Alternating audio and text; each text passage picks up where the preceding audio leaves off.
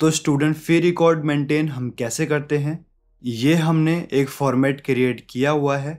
इसको हम कैसे बनाएँगे? साथ ही साथ इसको हम कैसे यूज़ करेंगे? जानेंगे इस वीडियो के अंदर। सबसे पहले यहाँ पर हम सीरियल नंबर लिखेंगे। इसके बाद नेम रोल नंबर अभी मैं यहाँ पर ये सिर्फ़ तीन चीज़ें ही डाल रहा हूँ। अगर आप कोई और स्पेसिफिक रिकॉर्ड रखना चाहते हैं, जैसे फादर्स नेम एड्रेस और फ़ोन नंबर तो उनको भी आप यहाँ पर आगे ऐड कर सकते हैं। इसके बाद यहाँ पर हम लिखेंगे मंथली फ़ीस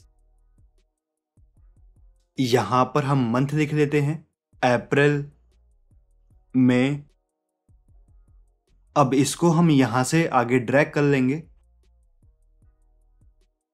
मार्च आने तक इसको हम आगे ड्रैग करेंगे। ये एक मंथ हमारा फालतू आ गया है, इसको हम डिलीट कर देते हैं। अब इसके बाद इनको हम सेलेक्ट कर लेते हैं। इनको हम रिसाइज कर लेंगे। तो ये सारे मंथ्स हमारे एक साइज़ के अंदर हो गए हैं। अब इसके बाद नेक्स्ट हम लिखेंगे पेड मंथ्स और पेंडिंग मंथ्स लास्ट हमारा हो जाएगा टोटल रिसीव्ड और बैलेंस तो ये हमारी हेडिंग्स हो गई हैं। अब हम आ जाते हैं सीरियल नंबर के अंदर। यहाँ पर हम सीरियल नंबर टाइप कर लेंगे।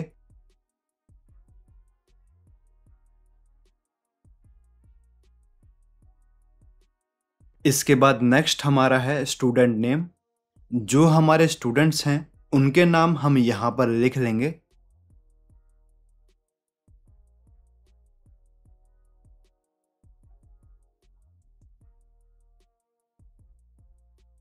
नेक्स्ट हमारा है स्टूडेंट रोल नंबर तो रोल नंबर को भी यहाँ पर हम लिख देंगे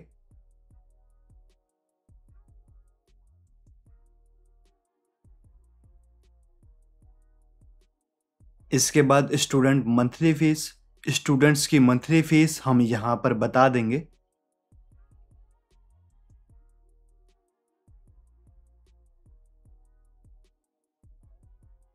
इसके बाद हम आ जाते हैं पेड मंथ्स के अंदर।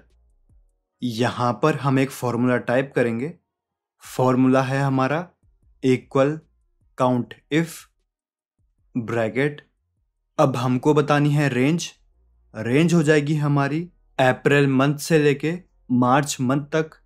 तो इसको हम सेलेक्ट कर लेंगे कॉमा लगाएँगे टाइप करेंगे ट्रू ब्रैकेट क्लोज करेंगे और एंटर प्रेस करेंगे। इसके बाद हम यहाँ पर आ जाएँगे। यहाँ पर भी हम सेम फॉर्मूला टाइप करेंगे equal count if bracket range को हम सेलेक्ट करेंगे। रेंज हो जाएगी हमारी अप्रैल मंथ से लेके मार्च मंथ तक कॉमा लगाएँगे। अब यहाँ पर हम टाइप करेंगे फॉल्स, ब्रैकेट क्लोज करेंगे और एंटर प्रेस करेंगे। तो ये दोनों फॉर्मूलाज हो गए हमारे। यहाँ पर हमारे काउंट होंगे पेड मंथ्स और यहाँ पर हमारे काउंट होंगे पेंडिंग मंथ्स। अभी ये वर्क कैसे करेंगे, इनको हम आगे जानेंगे। अब हम यहाँ पर आ जाते हैं। यहाँ पर हम टोटल रिसीव्ड अमाउंट निकालेंगे। और यहाँ पर बैलेंस अमाउंट तो रिसीव्ड अमाउंट निकालने के लिए यहाँ पर हम फॉर्मूला टाइप करेंगे इक्वल मंथली फ़ीस इसको हम सेलेक्ट करेंगे मल्टीप्लाई का साइन लगाएँगे, इसको हम मल्टीप्लाई करेंगे पेड मंथ से तो इसको हम सेलेक्ट कर लेंगे एंटर प्रेस करेंगे, ऐसे ही हम बैलेंस अमाउंट निकालेंगे इक्वल मंथली फ़ीस इसको हम सेलेक्ट कर लेते हैं, अब इसको हम मल्टीप्लाई करेंगे पेंडिंग मंथ से एंटर प्रेस करेंगे तो ये फॉर्मूला हो गया हमारा बैलेंस निकालने के लिए।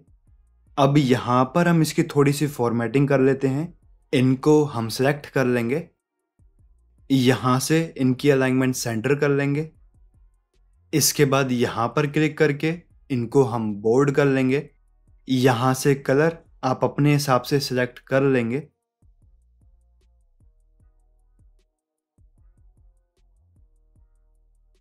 अब इसके बाद हम फ़र्स्ट रो के ऊपर कहीं भी क्लिक करेंगे माउस से राइट क्लिक करेंगे और यहाँ पर हम सेलेक्ट करेंगे इंसर्ट वन रो अबव एक न्यू रो हमारी ऐड हो जाएगी। अब तीन बार F4 की हम प्रेस करेंगे तो तीन और न्यू रोज ऐड हो जाएँगी। अब यहाँ से सेल्स को हम सेलेक्ट करेंगे और यहाँ तक हम सेलेक्ट कर लेंगे। इसके बाद यहाँ पर क्लिक करेंगे और इनको हम मर्ज कर लेंगे। यहाँ पर हम लिखेंगे स्टूडेंट फ़ी रिकॉर्ड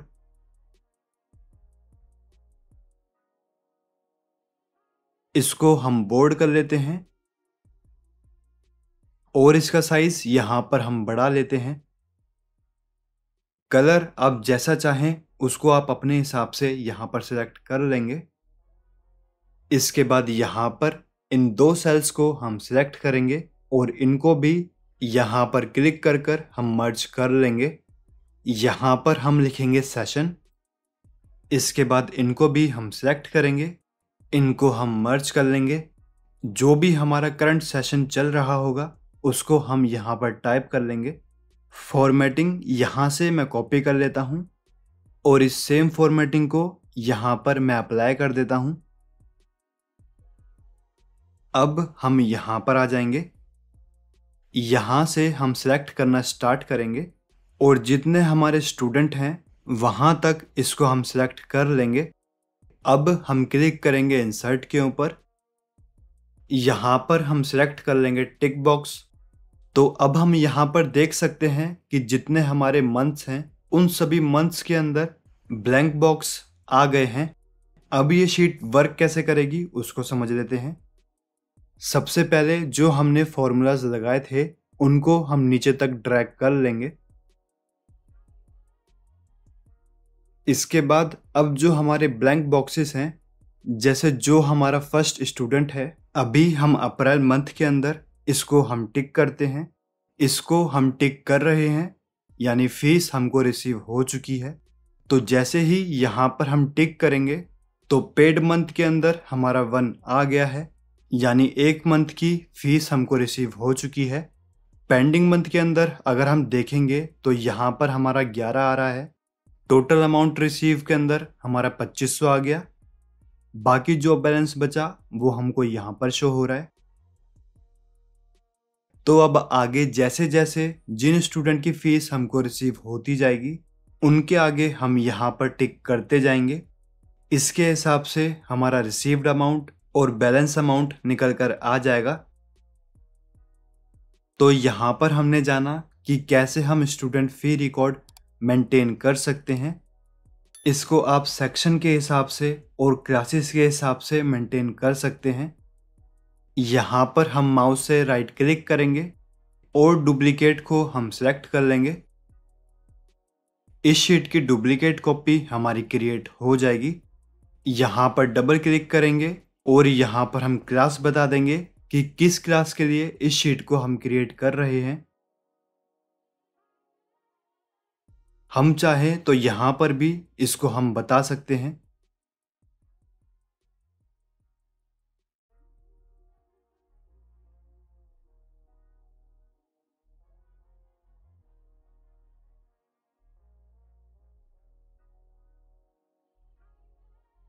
इसके बाद अब एक फाइनल चीज़ और एक ऑप्शनल चीज़, अगर आप करना चाहें तो कर सकते हैं, वो आपकी मर्ज़ी रहेगी। यहाँ पर हम लिख लेते हैं टोटल स्टूडेंट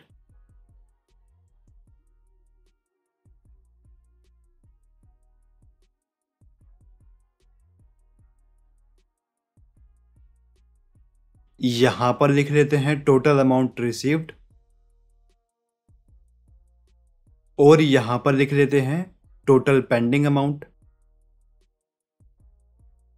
यहाँ पर हम फॉर्मूला लगाएँगे equal count A bracket roll number वाले पूरे कॉलम को हम सेलेक्ट कर लेंगे. तो यहाँ पर हम क्लिक करेंगे और कंट्रोल शिफ्ट और डाउन की को हम प्रेस करेंगे. पूरा कॉलम हमारा सेलेक्ट हो जाएगा. ब्रैकेट क्लोज करेंगे और एंटर प्रेस करेंगे. टोटल नंबर ऑफ़ स्टूडेंट हमारे यहाँ पर निकल कर आ जाएँगे। इसके बाद यहाँ पर आ जाते हैं। यहाँ पर हम फॉर्मूला टाइप करेंगे इक्वल सम ब्रैकेट यहाँ पर हम टोटल रिसीव्ड वाले कॉलम को सिलेक्ट कर लेंगे। ब्रैकेट क्लोज करेंगे और एंटर प्रेस करेंगे। तो जो भी अमाउंट हमको रिसीव होगा, उसका टोटल यहाँ पर निकल कर आ जाएगा। सेम ऐसा ही पेंडिंग मंथ के लिए भी कर लेंगे। फॉर्मूला हम टाइप करेंगे इक्वल सम ब्रैकेट यहाँ पर हम बैलेंस वाले कॉलम को सिलेक्ट कर लेंगे। ब्रैकेट क्लोज करेंगे और एंटर प्रेस करेंगे। तो बैलेंस वाले कॉलम का हमारा टोटल निकल कर आ जाएगा। ये हमारा ऑप्शनल काम है। अगर आप इसको करना चाहें तो कर सकते हैं, नहीं तो इसकी कोई ऐसी खास ज़रूरत नहीं है।